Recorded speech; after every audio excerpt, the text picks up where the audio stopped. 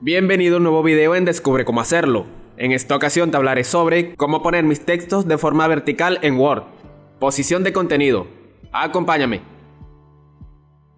No puedo comenzar sin antes mencionarte que todo lo que te hablaré en este video podrás encontrarlo dentro de este artículo, el cual presenta mucha más información.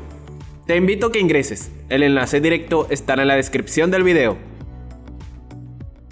Desde Microsoft Word es posible cambiar la dirección de tus textos de muchas maneras, usando las herramientas que el programa nos ofrece.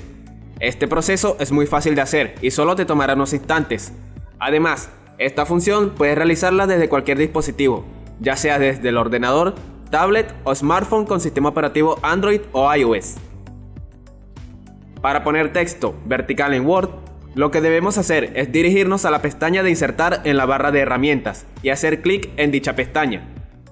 Una vez hecho, nos dirigimos hasta el apartado de texto y hacemos clic en el recuadro de Word Art. Se desplegará una ventana donde debemos seleccionar el tipo de texto. Después de haberlo seleccionado, debemos ingresar el texto. Una vez ingresado, lo que debemos hacer es hacer clic en la flecha en forma circular, la cual se encuentra ubicada en la parte superior del cuadro de texto. Debemos mantener el clic presionado mientras giramos el texto hasta que éste quede en forma vertical.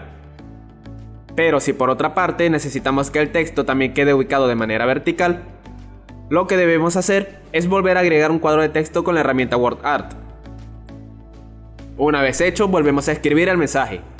Al terminar, lo que debemos hacer es ubicar el cursor en una de las esquinas del cuadro de texto, y seguidamente debemos hacer clic y mantenerlo.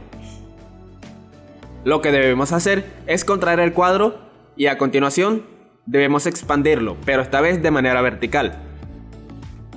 Como podemos ver, disponemos de estas dos maneras para ubicar nuestros textos de manera vertical. Cabe destacar que puedes cambiar el estilo de fuente y el tamaño del texto, para que se adapte de mejor manera para el trabajo que te encuentres realizando en el momento. Esto ha sido todo, en caso que tengas alguna duda, déjala en la caja de comentarios. Y no está de más decir que si te ha gustado el video, Puedes suscribirte al canal y activar la campana para alertarte de nuevo contenido. No olvides dejar tu like y continúa descubriendo cómo hacerlo. Hasta luego.